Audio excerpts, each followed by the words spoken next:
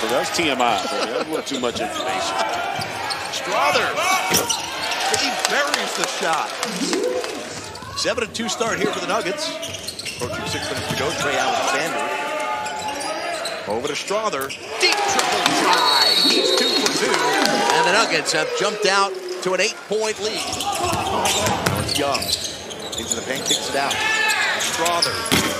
Strawther is three get to. And He's had some moments, but we haven't seen that consistency offensively. Under 40 seconds to go in the half. PJ Hall on the deck over to Strawther. Strawther, top key. Pickett to Hall. Straightaway three. Hall, no. Tyson. Shooting 36% from the field. Strawther, you fancy. Strawther has it.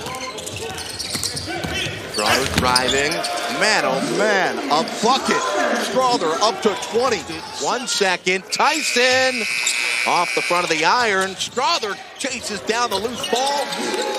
And the floater looking for a statement dunk. Instead, it goes the other way. Here's Alexander. Back to Strawther.